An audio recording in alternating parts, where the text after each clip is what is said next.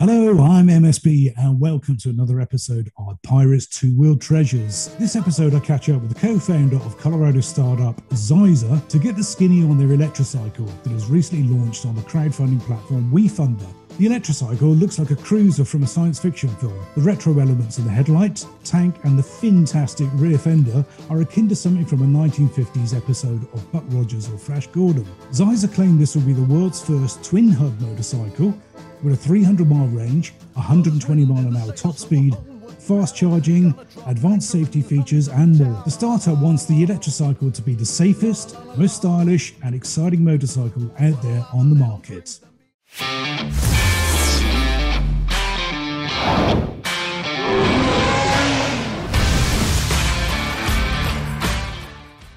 Joined here by Anthony Cross from uh, Zaiser Motorcycles.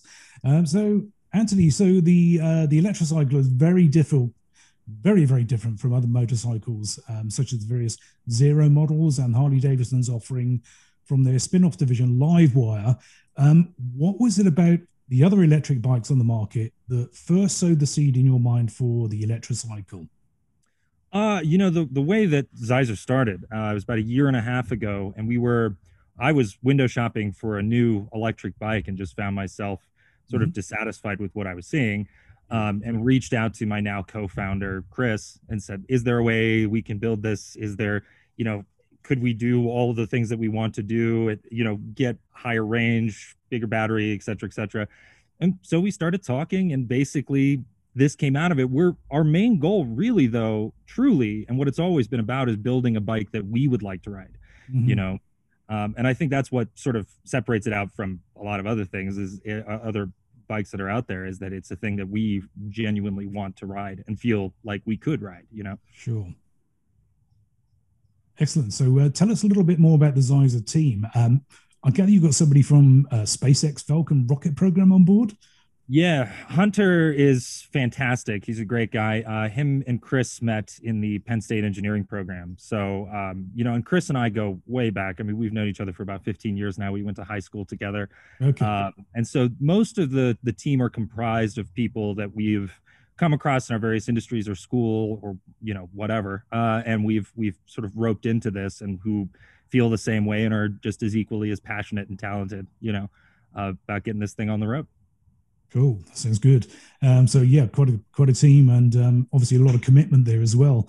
Um, now the spec on the electrocycle, you list um, hub motors, so mm-hmm. that's quite challenging. Um, will these be match motors? I mean, tell us a little bit more about the uh, the hub motors themselves. Uh, so we are currently in the process of developing our own at this point. I would love to give you a little bit more spec, but I would I would say check back with me in a couple of months when we've ironed out some of this stuff completely. Mm-hmm. We have some ideas right now, and some of this stuff is just going to be that way. We have we have ideas of what we want, and we have our minimum threshold. We have our maximum threshold, but at this point, I think you know check back with me in a couple of months. But we're developing newer lightweight uh, motors, uh, lighter weight casings, uh, you know, water cooled. So there's there's a lot okay. to be said about that. So it's going to it's going to have some bells and whistles for sure. Yeah, certainly sounds like it. So um, advanced safety features that, that's another thing that you list of on your specification to build into the bike. Um, what will those features be? Tell me a little bit more of those. So you know there are uh, there's a couple of main ones. I mean, when we're talking about hub motors, we have all-wheel drive. There's some mm-hmm. you know uh, opportunity there for traction control and all these other lovely things that we've been working on. But you know, one of the key things is uh, interconnectivity is a big one for us. Um, and I have to say, you know, really quickly, some of these safety features have existed for a long time, right? Sure. Yeah, like yeah. Uh, lidar sensors or you know uh, blind spot monitors, mm-hmm. that kind of thing. Wiring them to handlebars with haptic feedback is relatively new thing um, when we're talking about interconnectivity within, you know, like cellular connectivity, sure. the idea that there are hazards on the road ahead. I, I had a friend who um, was driving down a dark road um, just out in, in Texas not too long ago, mm-hmm. and there was a car on the road, slammed right into it and killed him. And the thing about it is, is that it's something that simple. If there was just a, a connectivity to Google that popped up a heads up display saying object on road ahead or whatever it is, car with no lights on, whatever comes through. So yeah, proximity that, sensors, then yeah. Well, and I don't know if proximity sensors would have saved them, but the connectivity through you know cellular, which is a relatively mm-hmm. that now. This is not science fiction. This is just we we can do it. Uh, yeah. That would have saved his life. There's no question. So I mean, little things like this, all on one bike. That's what's really going to make the difference as far as advanced safety features are concerned. You know.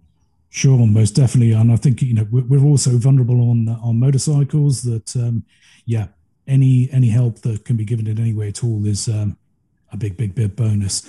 Um, the wearable in connectivity as well. I mean, what's what's that about?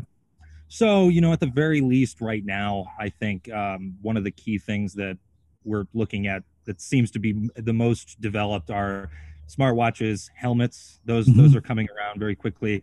But we want to make sure that we have that tech sorted out so that when we do hit the road in late 2022 early 2023 we're not hopelessly behind do you know what i'm saying like sure. as, yeah. as this stuff is developing at a light speed rate we we have to basically be ready for and kind of you know ready for whatever is coming down the lane on that regard so it could it could be it could be beyond smartwatches but it could also mainly just i think in the initial rounds are going to be uh helmets and things like that mm-hmm. Yeah, yeah. I guess um, sort of maybe a, a jacket would be nice as well. That's uh... there's come, come back to me in a couple months again. There's some developments we're working on with. There's that, a little actually. bit of disclosure there. You know, I mean, there are some features that uh, you know I really wish I could talk about that we've been kind of poking around in sure. over the last year and a half that we we don't want to necessarily say it's going to be on the first bike because it may or may not be but um, there's some really really cool stuff in that area that's that's coming up very fast yeah and the, this tech is advancing so quickly that um, yeah i mean to come up with a concept now that and secure to that concept within by the time you actually get to production it could be already outdated so yeah that's that's that's actually you know uh, i'm sure we'll cover this but that's actually one of our main concerns and goals mm-hmm. not end up like that for sure. Sure, yeah, yeah, yeah. So the look and the feel of the bike really sort of clearly places it in the cruiser category, mm-hmm. and there's a distinct nod to the Art Deco design, uh, but the wheelbase looks pretty long. Um, is there a practical for reason that, um, or is that purely for aesthetics? I will say I'm going to have to pay my rendering people overtime because uh, I think a lot of people have arrived at the concept thinking that it's 100% real and mm-hmm. uh you know just for the record it, it's not it's uh we're raising money to build a production intended design um i think with this the wheelbase is going to probably change uh the mm. rear fender is probably going to change certain aspects of it I, I think the core style if you were to sort of blur the image and take out you know as as the the, the core style of it we mm. want to preserve that idea this art deco and whatnot but you know, now we've got to engineer it, we've got to build it, we've got to see what the pitfalls are that we missed. Things are just inevitably going to change. There's no way around it. So this is by no means like a completely finalized built, you know, design yet. You know. Of course, yeah. And so um, one of the other areas that um, the setup like mentioned that you might accommodate is uh, fully removable and replaceable batteries. Um, is the right repair and sustainability a key driver in that? or did other factors come into the decision?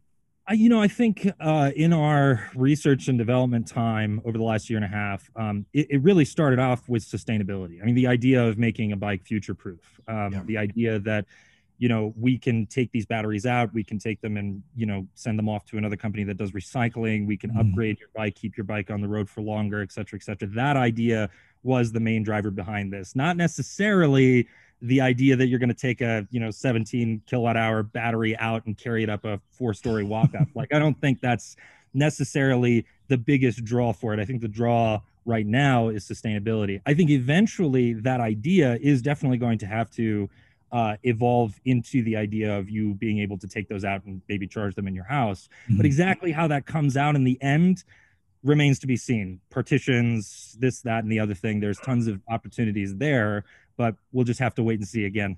Come back in a couple of months.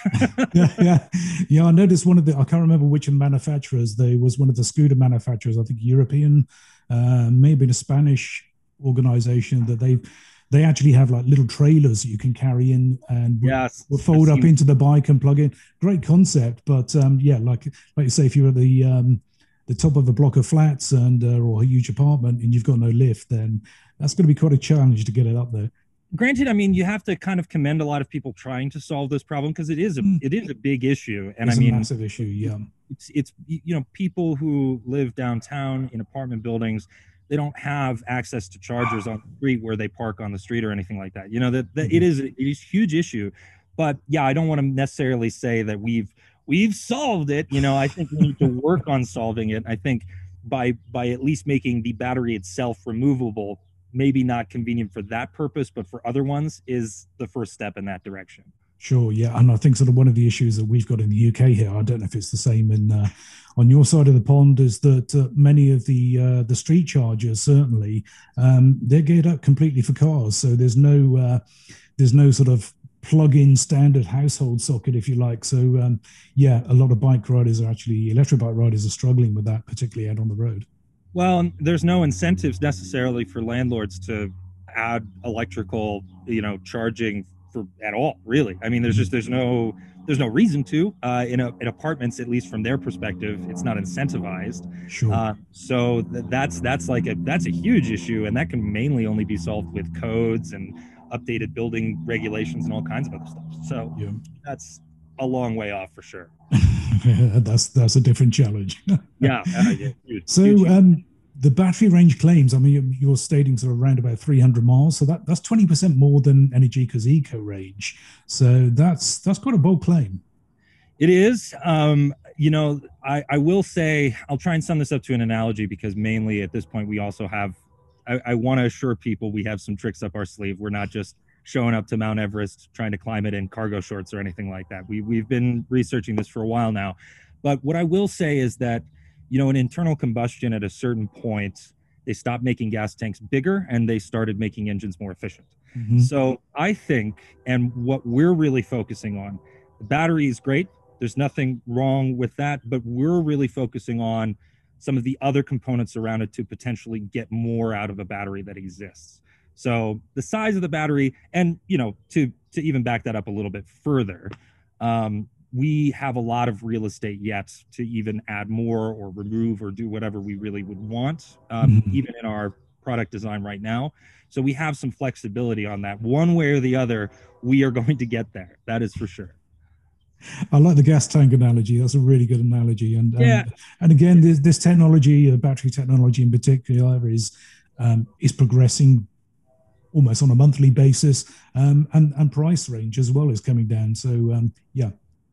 I mean, I I will also say too, you know, it brings it back to what you were saying earlier, is the idea that, you know, I get the distinct impression with all of the new stuff that's coming out as far as range is concerned, that really by the time this thing hits the road in 2023. Um, and even right around that time, 300 miles isn't going to seem as crazy by any stretch of the measure as it does potentially right now. Sure. You know, so, so we're looking we're looking ahead towards that essentially you know? Cool that sounds good. There you go. You got a freight train going past there. Somebody's doing some jackhammering i think sorry about that. Okay. so um, potentially then your um, your claims you, you could actually exceed your your claims maybe with the battery. Again i'm not trying to perjure myself um, but I, I will say that it is I mean, you never you never really know. Uh, you know, we we are aware of the technology that we want to use, and we mm-hmm. um, are very confident that we're going to be able to get there. There could be some new stuff that comes out next year, and all of a sudden it blows everybody's minds. Um, we we still have the flexibility to be able to potentially adapt something that were to come out, you know, early to mid next year and bring it into production potentially. So it could. Uh, it very well may, but I'm not going to say it will. you know? Sure. Yeah. I mean, and that's a good position to be in as well. I guess is that um, you're developing this this tech and you're you're developing the um, the structures.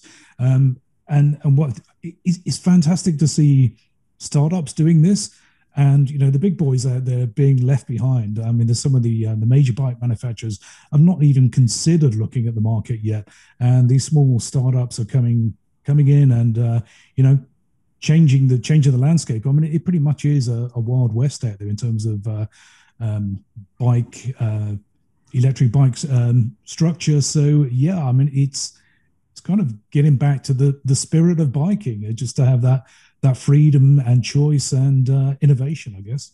It, right yeah and i mean you know diving in a little bit deeper on that right to repair is like a huge part of our ethos here too mm-hmm. i think you know um, the the model of uh, essentially planned obsolescence might be challenged by something like this you know sure. in, in its traditional form of like we don't make bikes that last very long at all you know mm-hmm. um, i think there's i think there's a lot of opportunity there to maybe challenge the status quo slightly um, and we have to we have to see what comes out the other side obviously but I, I i'm very excited about this potentiality for sure sounds good yeah and in terms of costs you've stated that you want it to be um, to be affordable.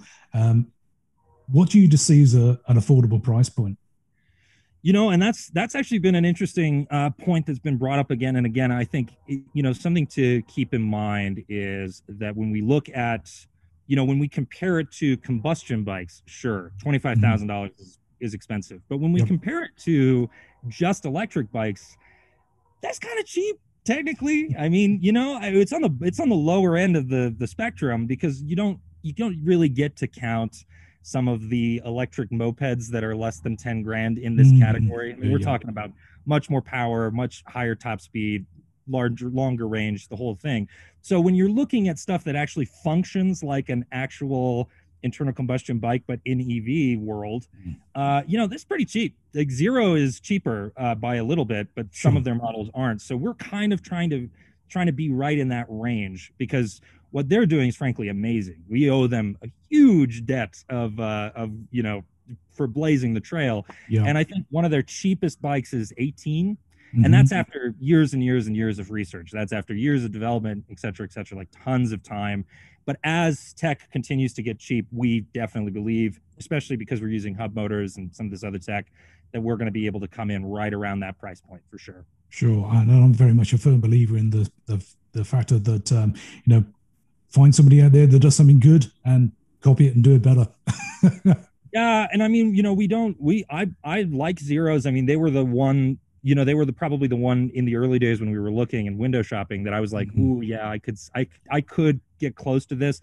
But then it was it was, you know, the fully loaded zero is pretty expensive. I was like, well, I don't really like this particular style. I'm not seeing anything that resonates with me on the market, but you know, zero for sure huge debt of gratitude. Big yeah. props to them for sure. But yeah, I mean, I think as we go along, as this progresses, as the demand picks up, which it is right now, mm. um, it's going to be a really exciting space to be in, and we're going to see parts, components, and just prices of these vehicles come down significantly. You know, because I think sure. the Livewire was what like thirty eight thousand last the last one they made or something it's, like that. Yeah, yes, looking around that point, and um, yeah, and but I, I, know riders over here in the UK who will who pay that for um, you know an ice bike. Um, yep, and that's pounds as well. right. Yeah. I mean, there's there's something to be said about potentially leasing a thing, um, or not leasing, but you know, financing a thing or leasing a thing. Because I think again, you know, these bikes hold will will ideally hold their value very well because they're mm-hmm. built with modular components. So if you walk down that train of thought, like it will it will last a lot longer than a lot of other bikes. So it's a decent, you know, I think investment as sure. far as your writing future. Most definitely. Um, now the predicted 120 mile an hour is on par with a zero, as you mentioned earlier, the SRS, um, mm-hmm. and it tops the Livewire's 95 mile an hour. How will your 0 to 60 figures look? Uh, at this point, uh, you know, we threw out 3.6 seconds as a mm-hmm. as a kind of standard. This is That's this just a, that was a challenge, was it? it was. It's going to be. It's. Uh, I mean, everything we're doing is going to be a challenge. Again, we don't want to sound arrogant or naive. It is going to be a challenge, but there is also some aspects of being able to make sure that we can't we can't go too far underneath that, or else it's completely unsafe. We mm-hmm. don't want to be too far over that, or else it's just not what we want. We want fast bikes. Um, sure, sure. But the, the key is, is we're going to have to fine tune that with testing, and that comes after we've raised the money for the production intended prototype. And it's, same sort of thing with torque figures and all of these other things. I wish I could give you exact specs. Um, we have ideas of where they are, but again, I don't mm-hmm. really, you know, throwing it out there and then it being wrong or different just opens yourself up to some liabilities. sure, no, of course, and uh, to, yeah, and I guess it's um, yeah, to set set that challenge, set the bar, and uh, yeah, try and uh, try and actually beat that bar. I will say, you know, when in the early days when I came to the engineering team and assembled an engineering team and said 300 mile range, 120 mile top speed, you know, I was laying out these figures of like, this is what we need right now. Mm-hmm. They were like, no, fuck, no, no way. Like, what are you crazy? You're you're you're crazy. And then essentially over the course of a year and a half, research, development, talking, you know, all, all of this stuff. Yep increasingly we were like oh no we we can do this. You oh do wow, it, yeah. we mm-hmm. could do this. This is this is absolutely possible. We just need money. So and tell us about the money the uh, the the funding campaign. Uh, you've gone for WeFunder is that right? Correct. Uh, WeFunder is an equity crowdfunding platform. So when you invest you essentially get equity in the company um, which is really nice for people to have some level of ownership and or be a part of something like this in that way it's going pretty well. A uh, week and a half, almost, almost two weeks now. Um, we're at twenty thousand. So obviously, there's a way to go, but we're mm-hmm. just now starting to get more and more buzz.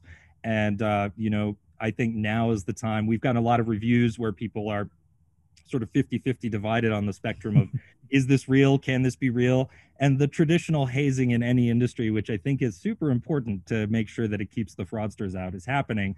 And uh, I'm more than willing to answer any questions on this for sure. You know, uh, so this is this is this is the process, and uh, I think we're doing quite well. Um, a lot of small contributions, which is really nice to see as well. You know, mm-hmm. nothing, not not a lot of like ten thousand dollar, you know, big big money coming in, but it's it's all a lot of small contributions from from independent people who just want to see this thing made. No, sure. I mean, that's sort of again part of the uh, the biking ethos is that I guess is that it's that community. Um, so yeah, put in what you can afford, and um, it needn't necessarily be be big book bucks like you say, but it's just those small amounts and everyone coming together can make it happen. Oh, I will say the big bucks wouldn't hurt. I mean, I'm never I'm never going to shy away from it in that regard. But yeah, it is it's heartwarming to see a community come together uh, and to see as many people who have gotten on there and and uh, you know bought in, so to speak. Uh, to to have that level of community buy-in is really nice and validating and you know encouraging, really. Yeah, it makes you feel good about the products that you've got and uh, and the project as well. Absolutely. Um, so now, other than obviously your own bike, um, what's your favorite ever motorcycle? My favorite ever one. Um, that's a very good question. Um, some of those old Beamers I've always loved, but I've never ridden them. You know, mm-hmm. some of those old I've always pined after them, but I've never gotten my hands, my grubby little hands on one of them yet. The old sort of boxer uh, type ones that. Uh, yeah, yeah, the, the the really beautiful. What were they called? The K something, or I think they were the K. There's, the, there's the Ks and the Rs, the R80s, and uh, yeah, yeah. yeah. Mm-hmm. Just there was a there was a neighbor of mine when I used to live in Fort Collins that had one that was, uh, you know, it had the beautiful silver tank Mm-hmm. Uh, design. It was it was just so nice. He had he he actually had all of the gear he would ever need to to ride it. He was this cool old BMW, you have to. oh my God, yeah, you gotta, that's we're talking about community buy-in right there, my guy. Like, whoa, uh, like big time. Uh, but no, you know, one of those I've always pined after, but I personally have an affinity with like the Honda CBs. I just know how to work on them. I have one in the shed right now that we're about to tear apart. Um, and so that, and actually, weirdly, like old uh, vintage mopeds. I've, I've got an affinity for those as well, like old French ones and stuff. So I've got a couple mm-hmm. of those walking around. Um, but yeah, I mean that's that's I, I, guess it's like my favorite one aesthetically. Yes, Beamers, but really like the one that I like the most to ride is probably like a CB. CBs, okay, uh, yeah. The, one of my favorites is the uh, 754. So uh, yeah, yeah, love them. I have, a, I have, a friend that has one of those. Actually, our marketing director has one. Um, I think he has a yeah, it's a seven. Yeah, it's a 754. Uh, mm-hmm. I think, and uh, he's he's currently working on the front suspension i think today or tomorrow because it's got a bad leak. So mm. you know yeah he's yeah i've got one of those as well. Yeah he came out his brakes were all squishy he was like what's going on? What's oh going no. On? oh no. Pool of oil. Yeah yeah exactly. So yeah man. Um yeah yeah. So you get um picture this. You, you've got your crowdfunding productions mm-hmm. full swing um, you're riding off into the sunset on your first ever production electrocycle. Um, mm-hmm. What would your track of choice be to play on your helmet integrated sound system? My track of choice. Oh man. Um there's a couple locally that are pretty good. I mean, give me an old airfield and I'll be happy. To be honest, uh, there's there's a couple of. Uh, okay, I'm gonna I'm gonna come clean. I don't really think I'm that much of a track guy. I'm a mm-hmm. we're in the mountains here, so I'm a kind of the let's go up onto some mountain roads. You, and I onto the twisties.